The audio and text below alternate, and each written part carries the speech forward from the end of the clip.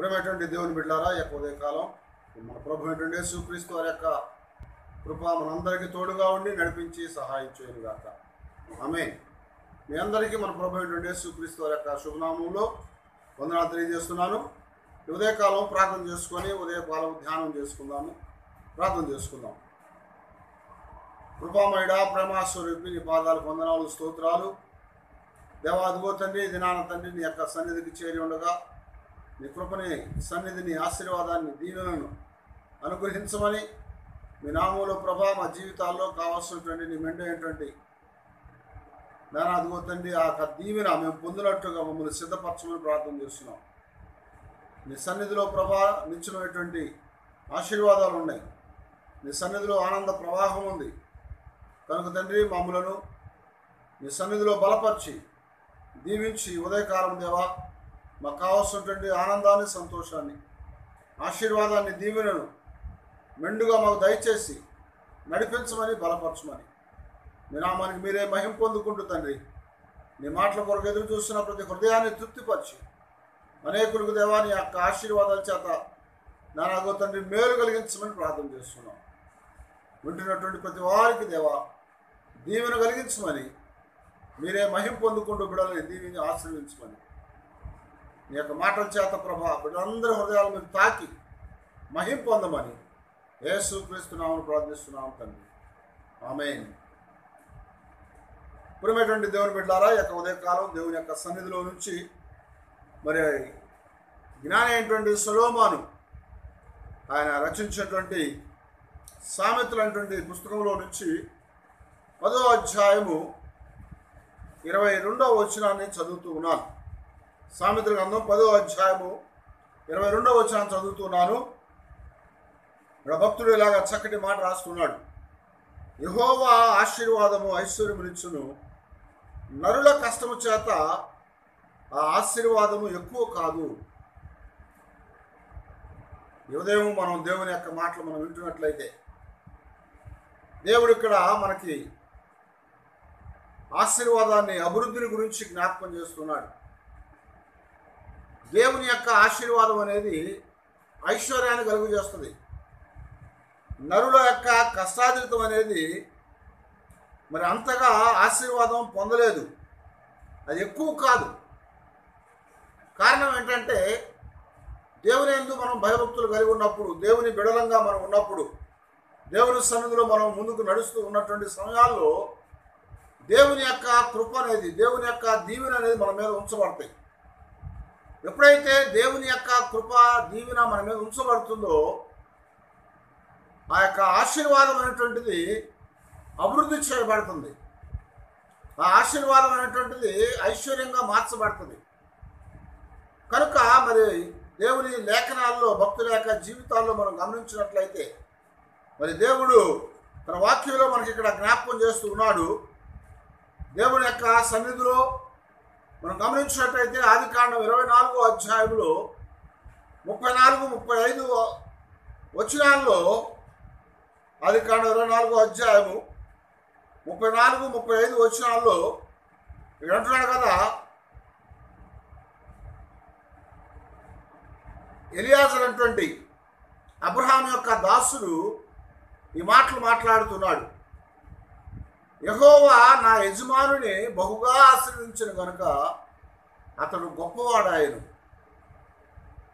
యహోవా నా యజమానుడైనటువంటి వాణిని బహుగా ఆశ్రయించిన కనుక అతడు గొప్పవాడాయను అని జ్ఞాపకం చేశాడు.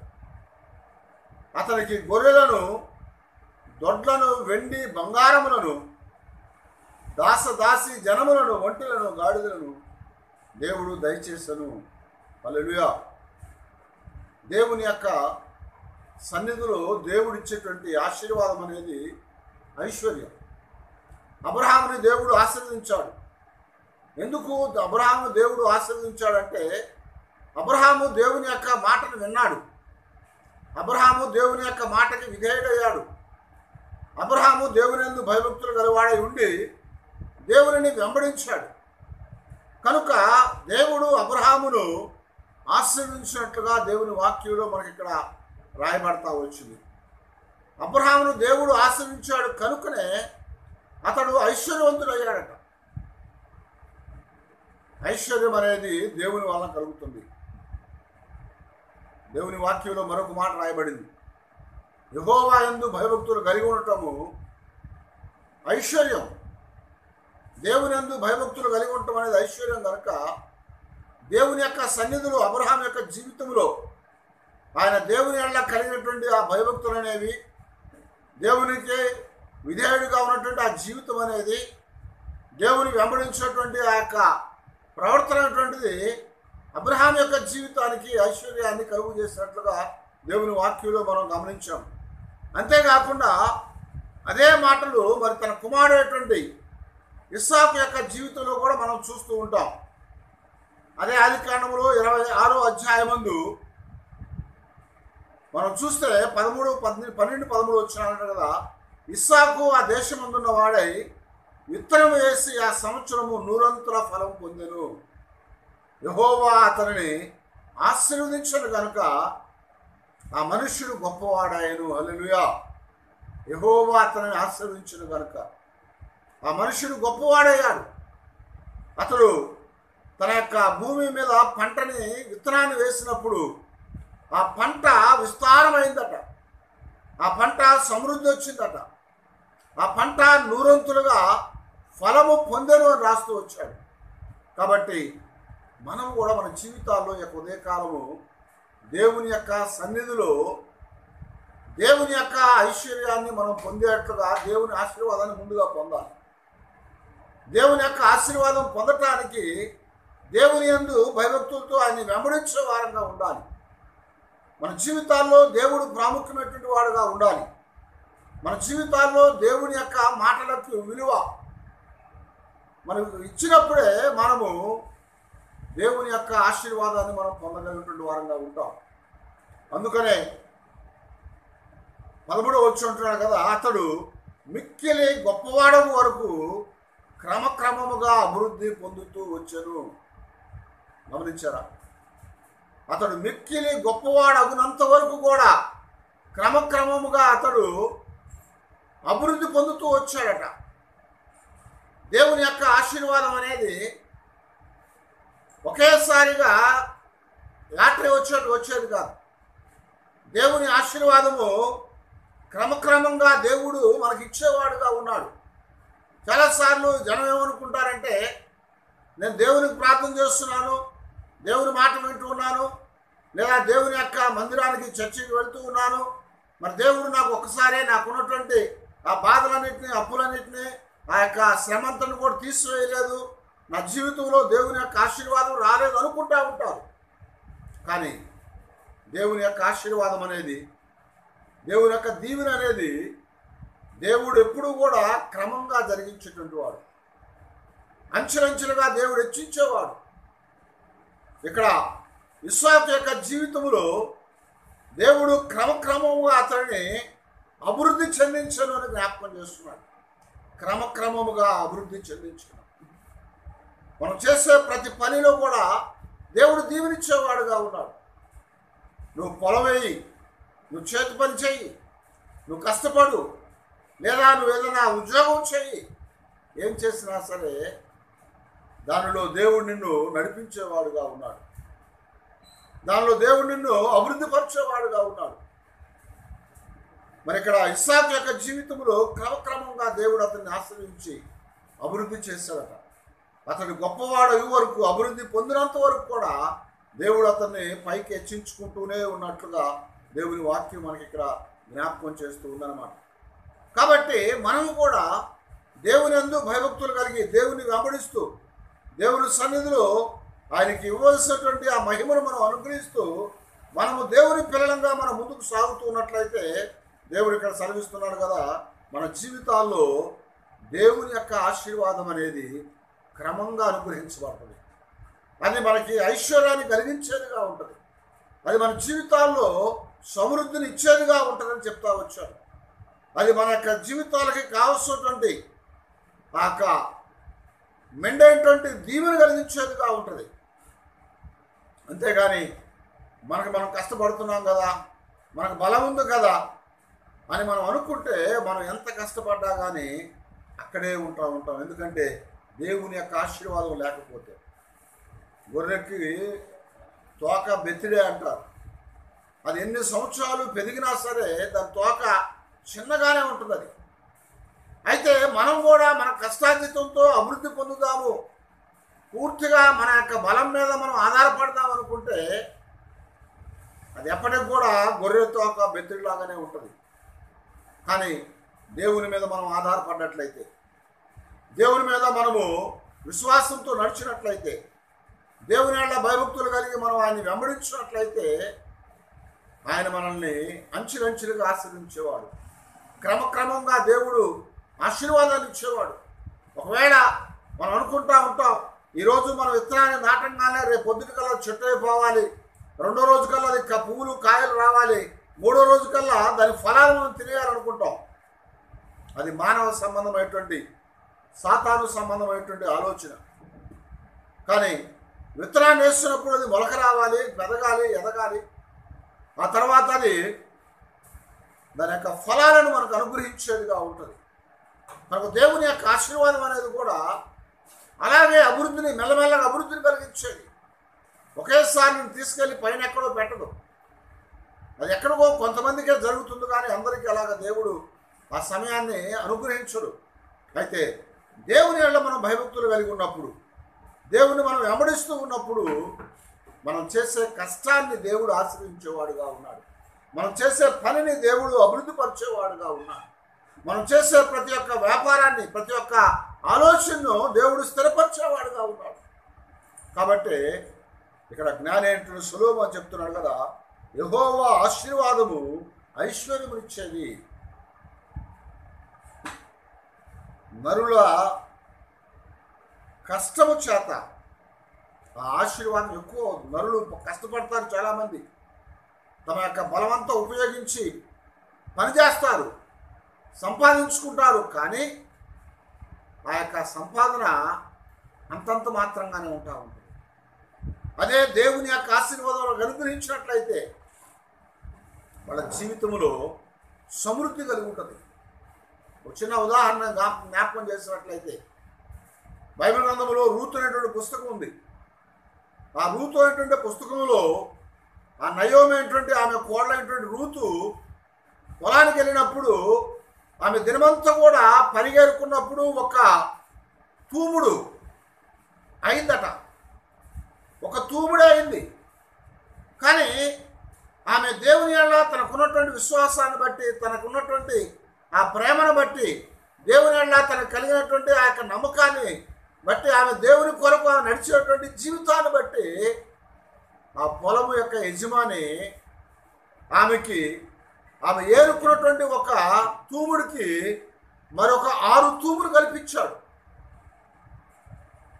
దేవునికి స్తోత్రం అలుడియా ఆమె ఇంటికి వచ్చినప్పుడు రోజంతా కష్టపడి ఒక తూముడు తీసుకొచ్చేది ఏరు పరిగేరుకొని. కానీ దేవుడు ఆమె ఆమె ప్రవర్తన బట్టి ఆమె యొక్క జీవితాన్ని బట్టి ఆమెకున్నటువంటి విశ్వాసాన్ని బట్టి ఆమె యొక్క మరి దేవుని అందు భయభక్తులను బట్టి దేవుడు ఆమెకి ఆ దినాన ఆమె కష్టపడిన దానికి ఆరంతరం ఎక్కువ ఇచ్చాడు మళ్ళా. దాన్ని తీసుకొని ఇంటికి వచ్చినప్పుడు ఏడు తూములు ఆ ఎవలను తీసుకొని వచ్చిందట. ఆ అత్త తల్లిగా ఉన్నటువంటి అత్త ఆ నయోమి ఆమెను చూసి నా కుమారి యహోవా నిన్ను ఆశీర్వదించనని చెప్పింది. కాబట్టి ప్రియా దేవుని బిడ్డలారా ఉదయకాలం మనం కూడా దేవుని యొక్క ఆశీర్వాదాన్ని పొందటానికి దేవుని యొక్క దీవెని పొందటానికి దేవుని యొక్క సన్నిధిలో మన చేతుల కష్టాయుతము అభివృద్ధి పొందటానికి దేవుని అందు భయభక్తులు కలిగి దేవునితో మనం నడిచే వారంగా మనం ఉండాలి. అందుకనే కీర్తనాకారుడు జ్ఞాపకం చేస్తున్నాడు. నూట ఇరవై ఏడవ కీర్తనలో రెండవ వచ్చాడు కదా మీరు మీరు వేకువనే లేచి చాలా రాత్రి తర్వాత పండుకొనవచ్చు కష్టాన్వితమైన ఆహారము తినుచుంటయు వ్యర్థం. ఎందుకంటే తన ప్రియులు నిద్రించుచున్నగా ఆయన వారికి ఇచ్చుచూ ఉన్నాడు అని రాస్తున్నాడు. దేవుని యందు భయభక్తులు కలిగినటువంటి దేవుని ఎందు మరి ప్రియులుగా ఉన్నటువంటి వారికి దేవుడు వారు నిద్రిస్తుండగా దేవుడు వారికి ఇస్తున్నాడని చెప్తున్నాడు. కనుక ఈ ఉదయం మన జీవితాల్లో దేవుని యొక్క సన్నిధిలో ఆయనకు ప్రియులుగా ఆయన ప్రేమించే వారంగా ఆయన ఏళ్ళ మన జీవితాల్లో భయభక్తులు కలిగి ఉండే వారంగా. ఆయన ఏళ్ళ మన జీవితాల్లో విశ్వాసాన్ని పెంచుకున్నటువంటి వారంగా. ఆయన వెంబడించే వారంగా మనం ఉన్నట్లయితే దేవుడు తన కృపను మనకు అనుగ్రహించేవాడు. అదే కీర్తనల నూట ఇరవై ఎనిమిదో కీర్తనలో కూడా అదే మాట ఇక్కడ మరి ఆ యొక్క కీర్తనగాడు జ్ఞాపకం చేస్తున్నాడు. నిశ్చయముగా నీవు నీ చేతుల కష్టాతీతమును అనుభవించదవు. నీవు ధన్యుడవు. నీకు మేలు కలుగును అని జ్ఞాపకం చేశాడు నూట ఇరవై ఎనిమిదవ కీర్తన మరి రెండవ వచ్చినప్పుడు కాబట్టి మన జీవితాల్లో మనము దేవుల్లో మనం ముందుకు సాగుతున్నప్పుడు దేవుని యొక్క భయభక్తులు మనం కలిగి ఉన్నప్పుడు ఆశీర్వాదాన్ని పొందుతాము. కనుక ఉదయకాలం ప్రియా దేవుని బిడ్డారా ప్రియమైనటువంటి స్నేహితులారా